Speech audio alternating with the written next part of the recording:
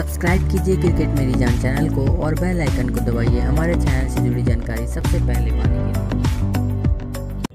नमस्कार दोस्तों, मैं हूँ तुषार और आप देख रहे हैं क्रिकेट मेरी जान यूट्यूब चैनल। और आज मैं आपको ऑस्ट्रेलिया में इंडिया के होने वाले कुछ मैचों की शेड्यूल बताऊँगा। तो चलिए आज की वीडियो शुरू करते हैं।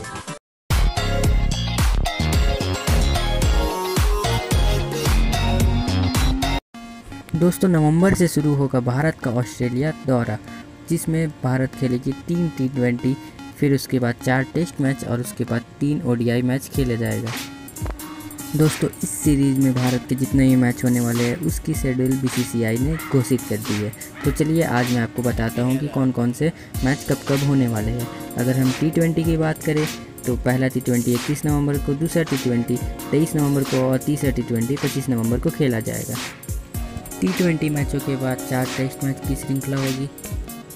पहला टेस्ट मैच 6 से 10 दिसंबर तक खेला जाएगा, दूसरा टेस्ट मैच 14 से 18 दिसंबर तक और तीसरा टेस्ट मैच 25 से 29 दिसंबर तक वहीं चौथा टेस्ट मैच 2 से 6 जनवरी तक खेला जाएगा। और उसके बाद 12 जनवरी से ओडीआई श्रृंखला की शुरुआत होगी। 12 जनवरी को पहला ओडीआई मैच खेला जाएगा तो वहीं 15 जनवरी को दूसरा और 18 जनवरी को तीसरा ओडीआई मैच खेला जाएगा। दोस्तों, ये तो थी क्रिकेट से जुड़ी कुछ जानकारी। ऐसी तरह की और जानकारी पाते रहने के चैनल को सब्सक्राइब करें, इस वीडियो को लाइक करें, शेयर करें और नीचे कमेंट ज़रूर करें।